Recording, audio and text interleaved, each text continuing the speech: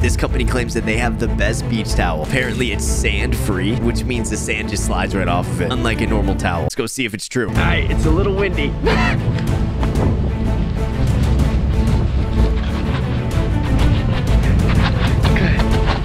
Okay, they're a little sandy. Sand cloud normal. Here we go. In three, two, one.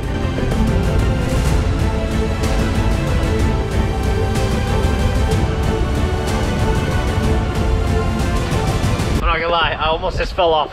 All right.